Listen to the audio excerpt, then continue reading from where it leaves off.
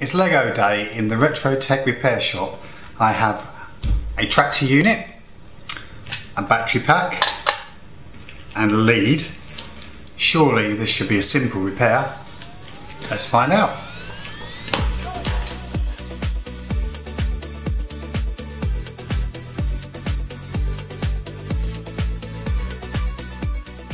So we have a vintage Lego motor set 40 not working from eBay, cost me £10.90 plus £4.10 postage and packaging. I'm going to tell you about this. It just says vintage Lego motor set 40 plus many other Lego parts. Condition is used. Please note it is not working. Had one of these as a child. Um, fantastic fun playing with this when I was a kid. Uh, I used to use it not just for the Lego but I used to connect it to my Meccano systems um, and use it as a drive motor. I remember this plate fits on here and I remember putting the battery pack on the where it is you built and driving it along.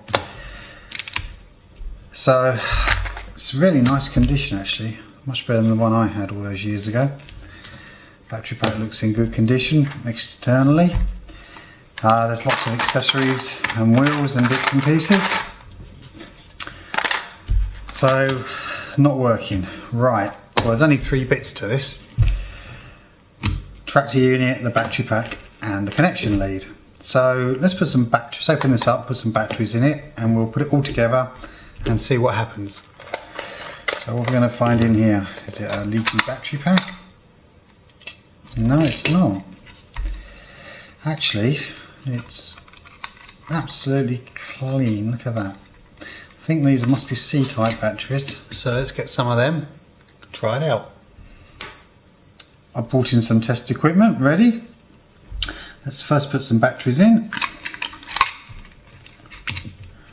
Okay, we put the top back on for now. Oh yeah, there's the forward and reverse switch, I remember now, and the midpoint was off.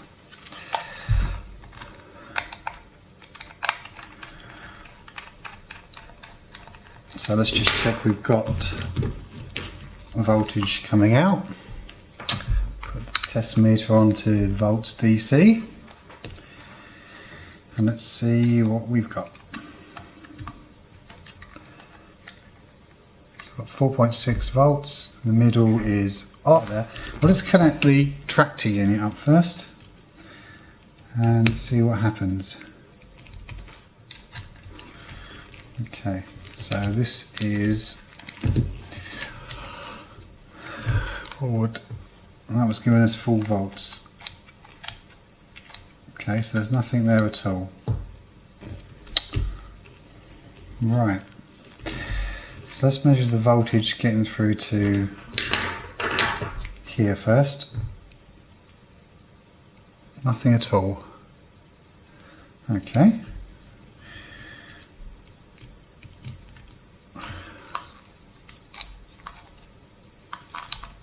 Nope, nothing getting there at all. Okay, right, let's,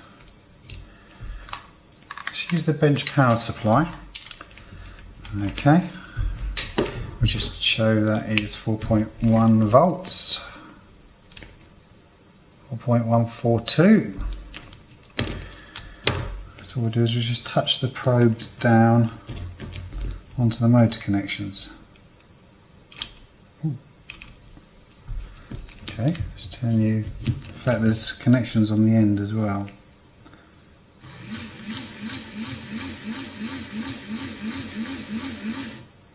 That's running.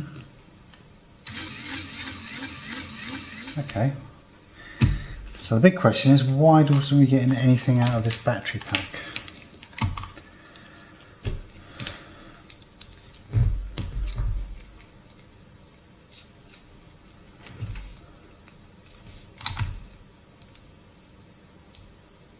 At all.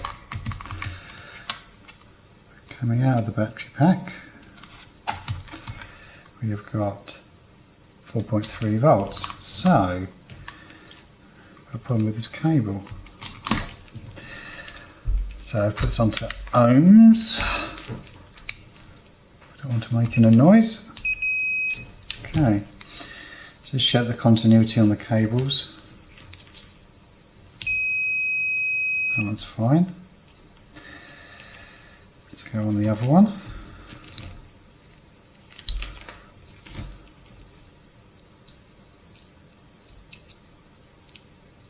Nothing. Okay, so we've got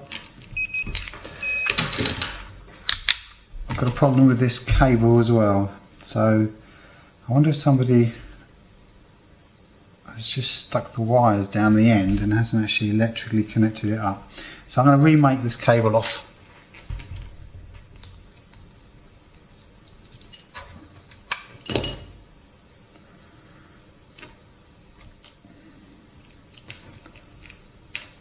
Right.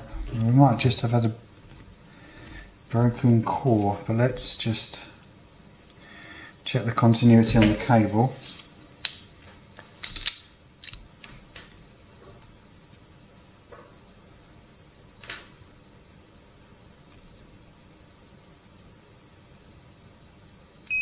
We've no continuity on that cable.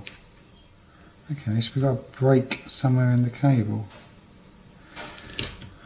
I'm going to do is going to snip this back to where the cables are actually joined together. Um, so the flexing. And we'll try it again. We'll strip the ends back and try it again.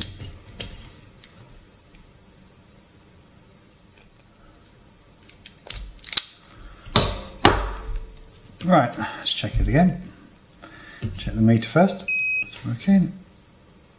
That cable, nothing.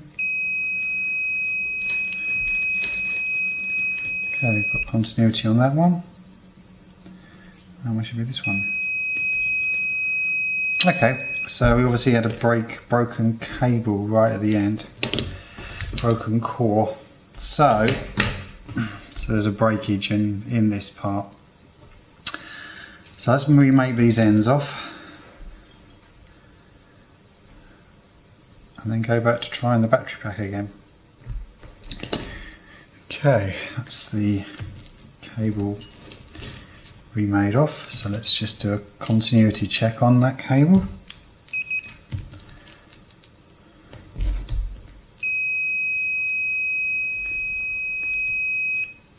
Good.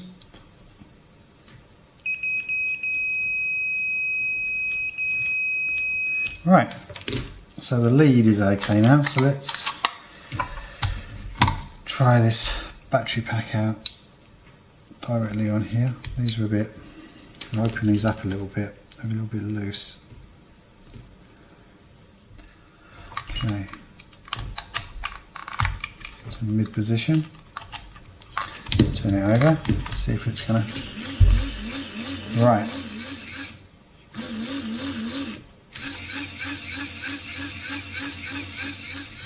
Going to try some different wheels on it just because I can.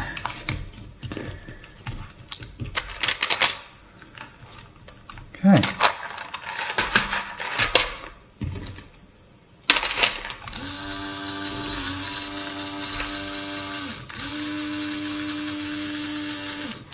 Again, we have bits of, bit of a wobble on some of these, but okay, so looking good. Let's try these connections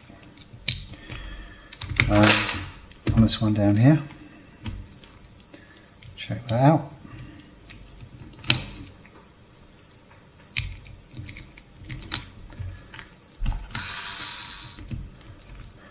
Finally the electrical connections on the end.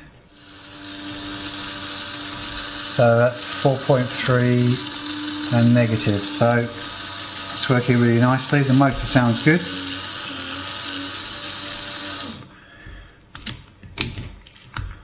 But I'm going to take this off, take this apart, find out what we've got in here. Okay, let's strip you down and have a look.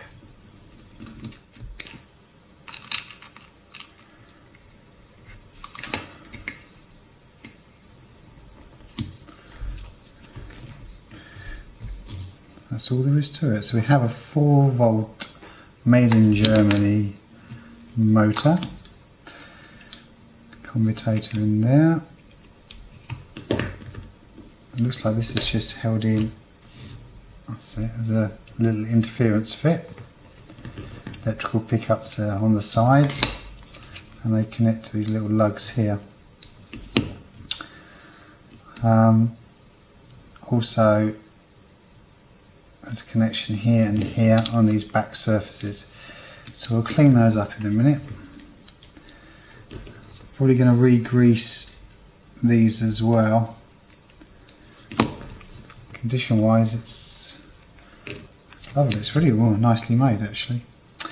And I can see in there the motor brushes everything looks absolutely fine. Spring loaded brushes in there. Commutator looks clean. I'll give it some electrical solvent cleaning just through the motor, just to give it a quick brush out. And I'll to clean up these surfaces as well. Yeah, there's nothing dirty coming out of that at all.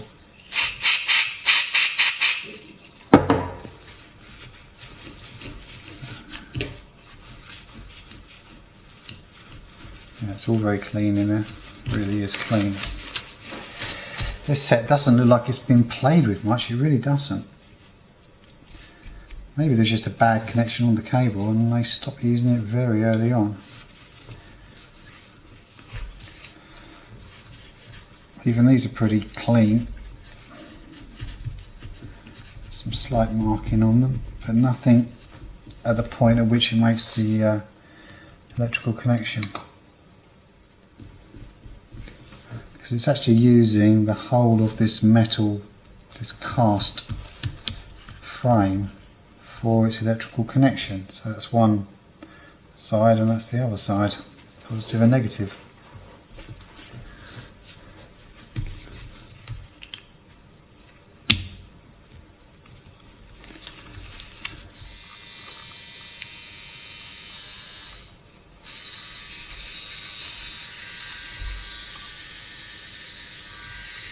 Right, just going to give this a very, it's plastic gearing, so I'm, I'm just going to give it a little bit of light machine oil. It'll just work its way through the gears. There we go, right. Just run it for a while. Don't want oil spewing out everywhere.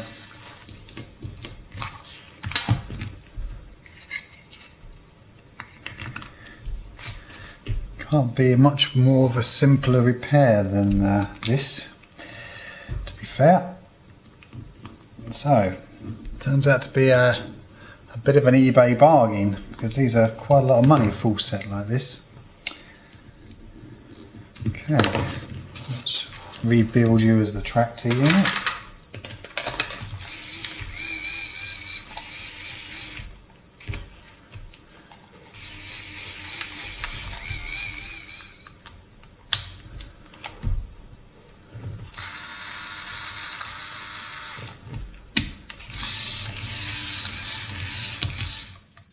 I'm just going to sit here and continue playing, uh, testing this unit now.